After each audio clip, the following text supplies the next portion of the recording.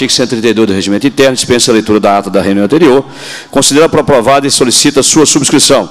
Esta reunião se destina a apreciar a matéria constante na pauta e a receber, discutir e votar proposições da comissão. Passa-se a primeira fase da ordem do dia, compreende a discussão e a votação sobre proposições sujeitas à apreciação do plenário.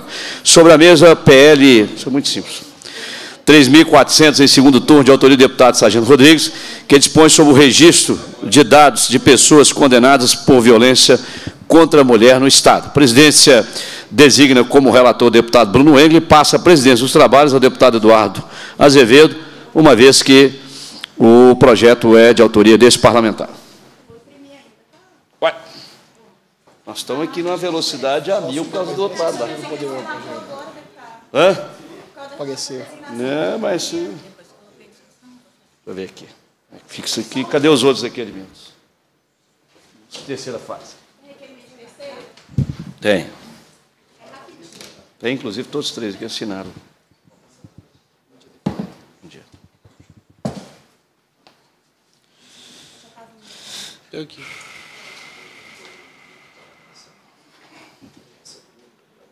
Ah, vou falar com o Sérgio. Vou falar com ele. Negócio de 2630? Quer? Então pede o sargento para fazer para nós. Ô, Rodrigues, Rodrigo. a Bia fez um 5 ontem na educação do PL da censura, tentou vendo aqui. relacionar com violência nas escolas, e agora eu quero fazer aqui também. Aqui, eu. Eduardo, Pode fazer. Se quiser aportar, é só aportar. Aprovado.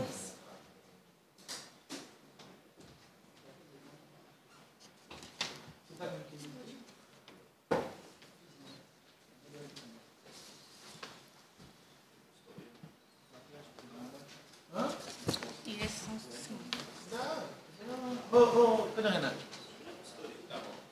É, Faz um, um requerimento de pedido de audiência pública para tratar do PL 26.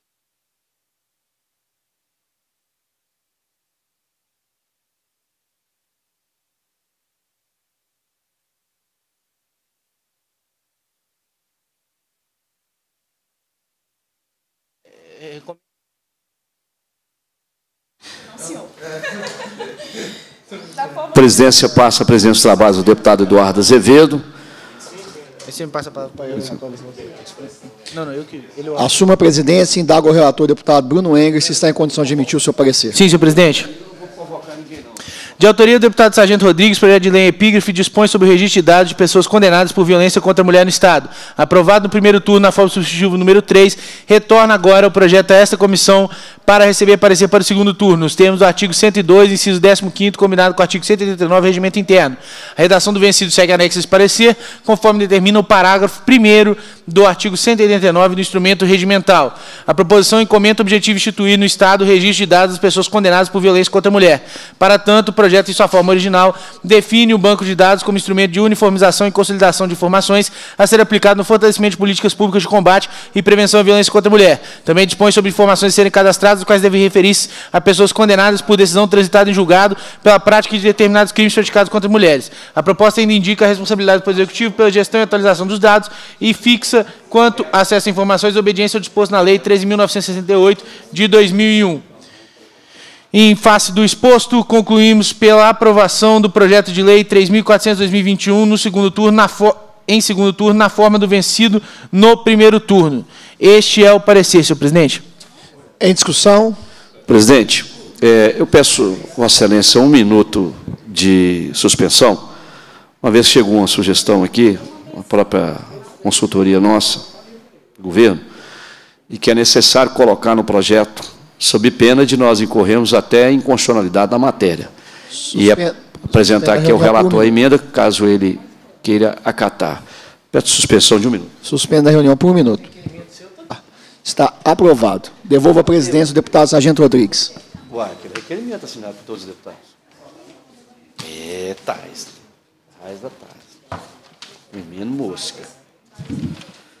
Presidência agradece ao deputado Eduardo Azevedo e deputado Bruno Engler. Passa-se a segunda fase da ordem do dia e compreende a discussão e a votação de proposições dispensa a apreciação do plenário. Requerimento 1361-2023, em turno 1, da deputada Macaé Varias. Senhores deputados, com a própria permanece com o segundo aprovado. Passa a presidência dos trabalhos ao deputado Eduardo Azevedo, uma vez que há requerimentos de segunda fase de minha autoria. Ah, fica esperta, tá. O que eu ia fazer aqui não ia dar em nada.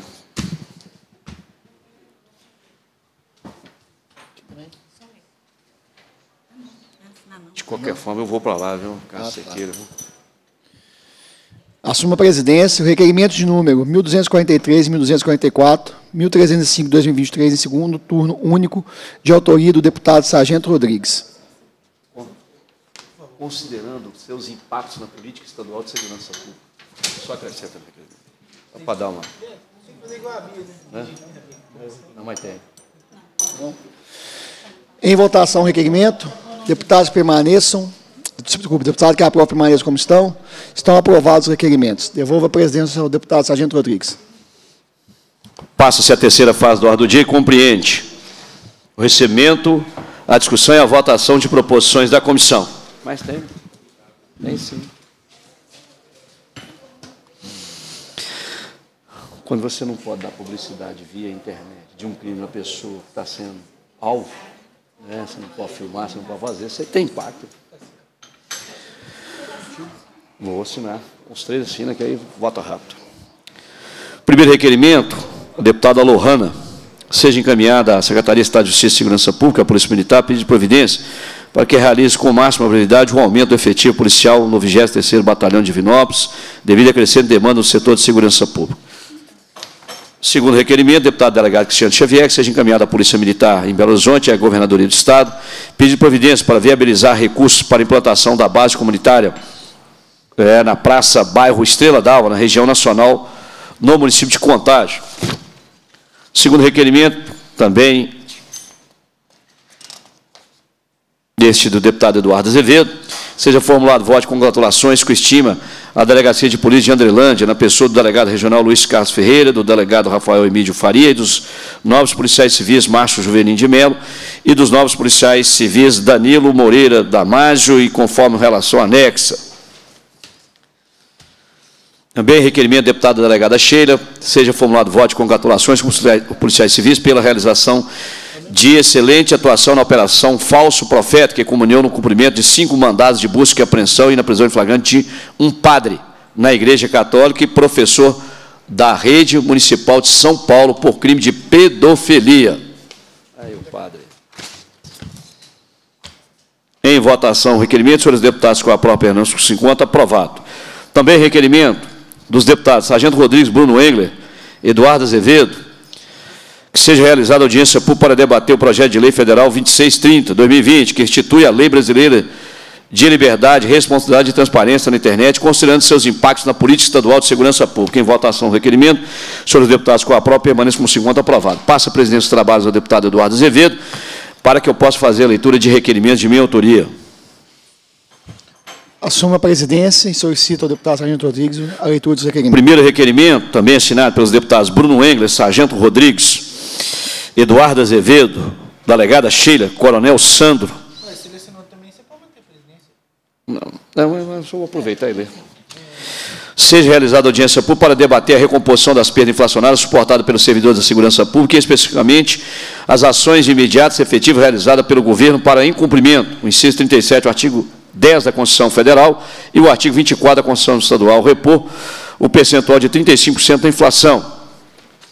O segundo requerimento também apenas acrescentar a este primeiro requerimento, que é de minha autoria, apenas acrescentar, o teu o mesmo, uh, diante do exposto, conto com apoio de espaço para aprovação do requerimento, para tanto requer o comparecimento pessoal do secretário de Estado de Governo, Igor Eto, da Secretaria de Estado de Planejamento e Gestão, Luiz, doutor Luiz Barreto, do secretário de Justiça e Segurança Pública, comandante-geral da Polícia Militar, do Corpo de Bombeiros, chefe da Polícia Civil, sob pena de convocação para a próxima audiência nos termos do inciso 7 e 8 do artigo 100 do Regimento Interno.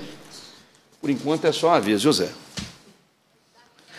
Também que seja encaminhado ao secretário de Justiça e Segurança Pública pedido de providência para publicar com urgência comissão que ficará responsável pela elaboração da minuta de projeto de lei contendo a lei orgânica da Polícia Penal, Recorde-se que em 29 de 6 de 2022, a emenda constitucional 111, o disposto sobre a Polícia Penal no âmbito, trouxe expressamente prevista a lei orgânica. Recentemente, durante a tramitação do PL 358 de 2023, emenda desse deputado foi acatada e transformada no artigo 142 da Lei 24.303 de 2023, que prevê o Poder Executivo encaminhar à Assembleia até um ano, contada a data da publicação dessa lei, projeto de lei complementar regulamentando a emenda constitucional 111. Também que seja encaminhada à Polícia Militar de Minas Gerais pedido de providência para determinar o imediato pagamento da parcela correspondente a 50% da diária integral dos policiais militares empenhados no evento do Dia da Inconfidência Mineira, realizado no dia 21 do 4 de 2023, na cidade de Ouro Preto, nos termos do parágrafo 4 do artigo 6 da Resolução 3559-2000, quando o militar dispuser de alimentação ou de pousada gratuita, será devida a parcela correspondente a 50% da diária integral. Nesse sentido, verifique que o memorando 014-2023, que determinou o emprego de efetivo no cerimonial militar do dia da Inconfidência, previu um oficial subalterno seria colocado para receber e distribuir o lanche providenciado pelo cerimonial. Que lanche, viu? Tristeza. Esses são os requerimentos, senhor presidente. Em votação, deputados que aprovam permaneçam como estão. Aprovado. Devolvo a presidência ao deputado Sargento Rodrigues.